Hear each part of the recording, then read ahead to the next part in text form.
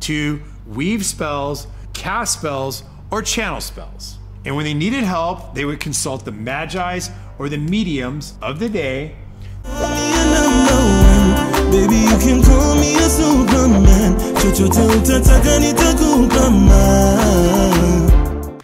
Hey guys, welcome back to our channel. It's your girl Fanny Lungu back with another reaction video. If you're new to this channel, make sure to give this video a thumbs up, share it with your friends, and of course, do not forget to subscribe. Like I said, my name is Fanny Lungu, and on this channel, we post reaction videos. But other than that, we've got a second YouTube channel called Fanny and Jessy 2.0. You can just head there and enjoy the content that's been put out so far. Other than that, you can find us on uh, we've got podcasts, so you can find us on iTunes and Podbean.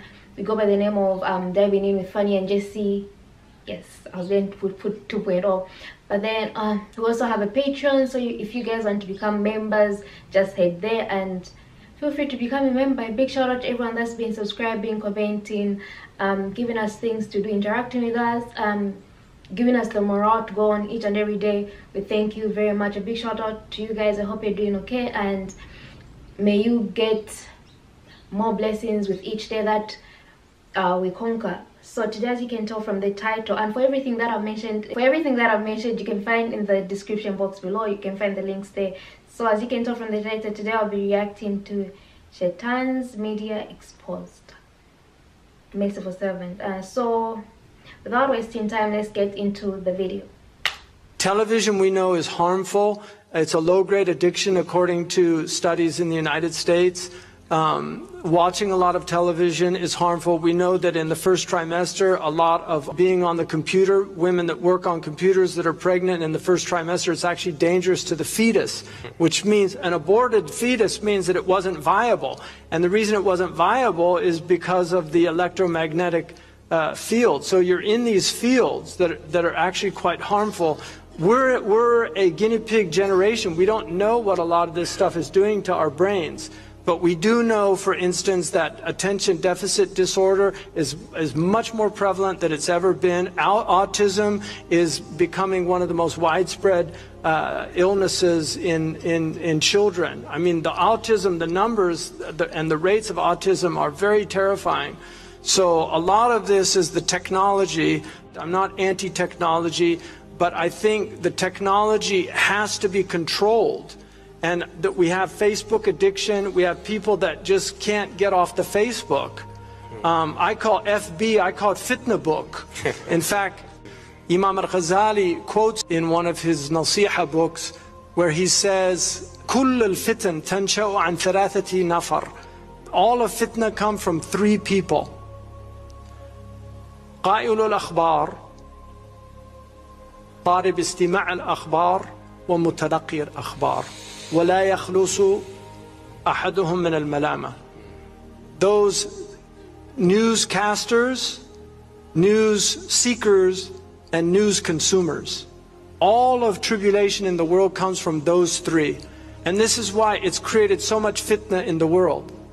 And people need to understand that this technology is new technology. And we, the Prophet, one of the signs he said, he's, uh, Ibn Mas'ud anhu, he said, uh, he asked if the, the hour had signs. And, and the Prophet said, Ya Ibn Mas'ud, inna lisa'ati asharata. The, the, the hour has signs. And then he said, وَمِنْ أَشَرَاطِهَا أَن تُوَاصِلَ الْأَطْبَاقِ وَتُقْطَعِ الْأَرْحَامِ he said that the atbaq would be continuous and the people would sever their kinship bonds. Now, in the traditional tafsirs, they said it would mean they would eat one plate after another. When I read that hadith, it didn't convince me that that was the meaning.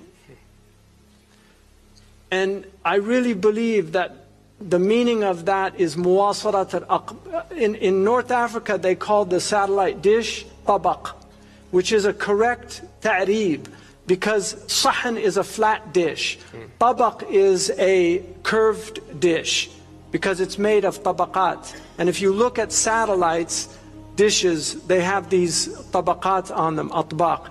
And the word in modern Arabic for satellite communications is muwasalat. So the very same word he used that they will watch dishes they will, to al-atbaq, the dishes will be uh, continuous. Their communication will be continuous. Min kulli hadabin yansilun. From every high place, the, the, the Yajuj and Majuj would come down.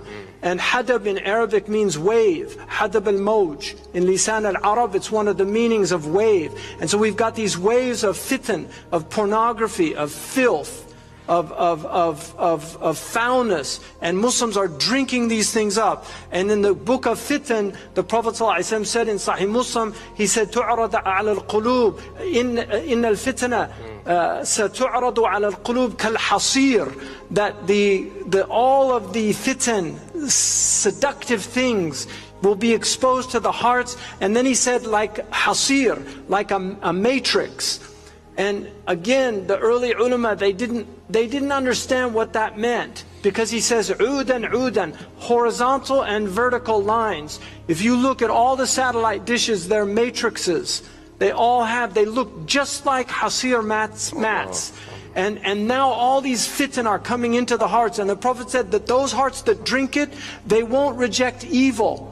Because you, your children are growing up accustomed to foulness. They'll think all of this is normal. Human beings have a fitrah. The Prophet said, how will you be when you, when you ta'muruna bil munkar? Hmm. Wa tunkirun al ma'ruf? How will you be when you start commanding to evil and forbidding good?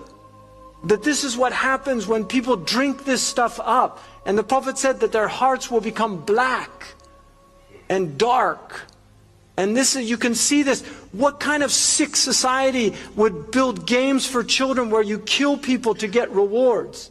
What kind of a sick society? That's a society that thrives on war. That's a society that its number one business is armaments manufacturing. It's a society that wants to spread strife in the world.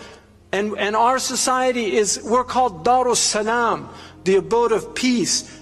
Allah calls to the abode of peace. And that's why we should really, the young people have to be, understand what's happening to them. They have to understand what these things really mean. They're wasting their, your time. Uh, shaitan is the great time waster. He steals your time. And then before you know it, you're dead and your life is over and you, you're unprepared to go into the next dimension. All right, so look, here's the deal. They have been desensitizing us since we were born. And I'll give you some examples. Let's start with the big one. Let's start with words we hear all the time and never even think about. Let's start with the word entertainment. To entertain. What does that mean? To bind or hold. To bind or hold what? An audience's attention. Okay, now let's take the word Hollywood. Where does that come from? Well, Hollywood comes from the holly tree. And the ancient Druids, back in the day, used to take the holly tree, make wands, to weave spells, cast spells, or channel spells. And when they needed help, they would consult the magi's or the mediums of the day to help channel their spells to the population. We'll cut to today. What do we have in our houses? We have these black boxes. What are they called? TVs. But if you stop and you say the word tell a vision, television. And when you turn on that television, what do you get? What's the first thing that pops up? A list of channels. And when you turn on those channels, what's on those channels? Programming. They are programming you. They've been programming your whole life. You don't even know it. They do it with your music, they do it with your TV, they do it with your movies, they do it with your games. They have been programming us and programming you since you were little and you don't even know it because you don't even question it.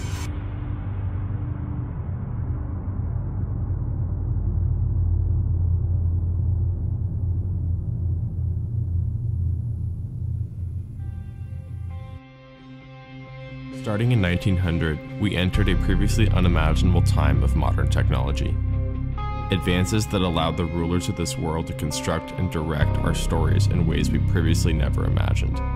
As a result, new techniques to control the population were realized. These are the people from the companies that we have trusted to deliver us our news and tell our stories. This has always been about controlling what we as the population think and hear. They help create our culture and influence our society. we as citizens only trust them because as a society, we think that the gatekeepers have our best interest in mind the dangerous, you know, edges here are that he's trying to undermine the media, trying to make up his own facts, and it could be that while unemployment and uh, the, the economy worsens, he could have undermined the messaging so much that he can actually control right. uh, exactly what people think, and that is the that is if our you, job. Yeah, that is our job. That is our job. Our job. As I was researching I found that most of the early communication companies were developed for shipping or aviation. And a lot of the men that started these companies were commissioned by the military during World War I and World War II. Many of these men worked for the Army and Navy intelligence services along with the OSS, which we know became the CIA. There were many examples of these men becoming the heads or founders of some of the biggest motion picture and media companies before and after their government or military service. I wanted to know if, how many of the media companies in today's world connected back to Washington. So I started looking. It was like a family tree. The connections between our government personnel and the media corporations was unbelievable. Google, Amazon, Netflix, Twitter, CNN, ABC. So, what would happen if all these companies had the same political ideology or agenda? We as this population like to hear people confirm our confirmation biases. We like to hear people tell us that we're right. We don't like to be wrong. And we believe that the people on the media and the people that we're listening to have our best interests in mind. The problem is, is what if they don't? So if you stop and think about it, they can place any agenda on the population that they choose. I think that Hollywood is teaching bad morals to the youth of this country as well as adults desensitizing of violence to the masses. You can't deny that. My kids have seen so many people get killed in very violent ways. Three times as much gun violence now. And the, the sex that's in PG-13 movies. Why? Every Disney movie, there's a major character, usually a parent, that gets killed trauma to the child. Why? It, it's so horrible. What a bad story. Why do you need to start a story with a parent dying? Always. It's it's so sad.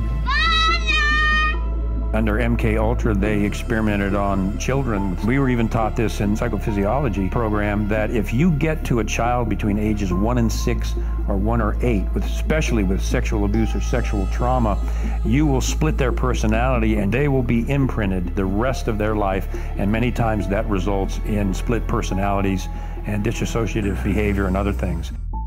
These occult topics are being introduced to our kids, and most parents aren't even aware of it.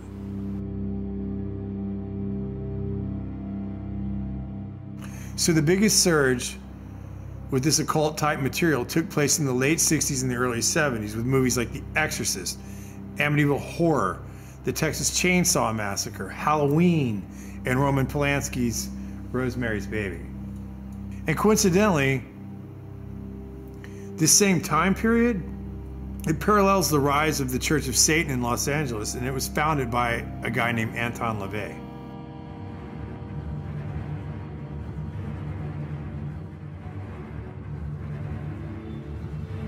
So it is done. When I was a police officer, uh, we had cases of satanic cults right in Arlington, Virginia. Those have been around for decades. They're in the high schools, they're in the colleges, they're in the government, and they're in Hollywood.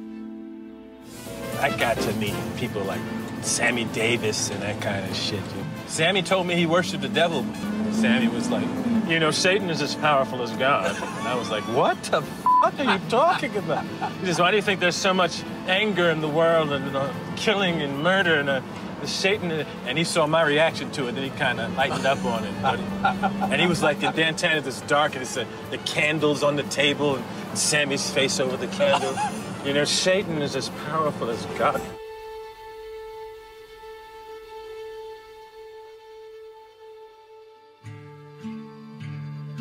From our point of view, it really makes no difference whether you pray to a father god or to a mother goddess or to an entire gaggle of gods and goddesses. Michael Aquino was a high level officer in the National Security Agency.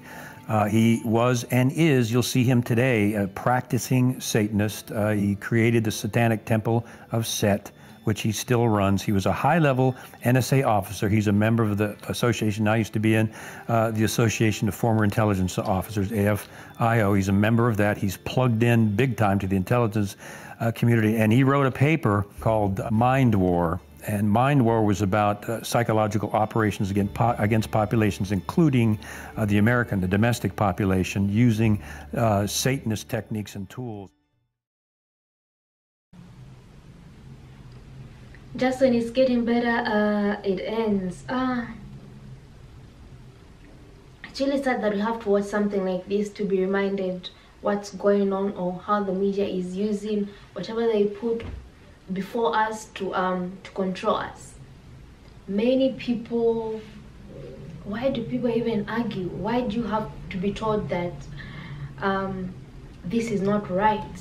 And the fact that the and the fact that children under the age of one or maybe when they're born to the age of is it six or eight he mentioned if they're so vulnerable what can you and i do different if I have children, I think I'll do things differently. Not every time the child cries, the child is on TV. Not every time, whatever the case is, you're in front of TV. That's why we have all these materials. Up to you and I after watching such things and looking into them. And I wish uh, my boyfriend is on that reacted to this because he likes all these things. Because he's done his research, he knows what's going on, and it's just, I don't know. At the end of the day, we have this reminder or this one, you know, whatever you want to take this as. Don't just believe in everything that the media puts upon us because the media lies and it's not the first time. Donald Trump calls uh, news fake. So why can't you think for yourself if um, just because many people are basing their beliefs on whatever is said, be the one that's different examine what what's put in front of us. Let's just not take in oh we've got this much cases now. Oh you start panicking fearing whatever the case is. Look into whatever is presented before you guys and let's take care of ourselves and let's take care of the next generation from us be it your children nieces whatever the case is. Otherwise this was an interesting video to look at. A big shout out to the person that suggested it. Thank you thank you and thank you very much. And make sure to make sure to give this video a thumbs up share it with your friends and of course don't forget to subscribe and i'll see you in my next reaction video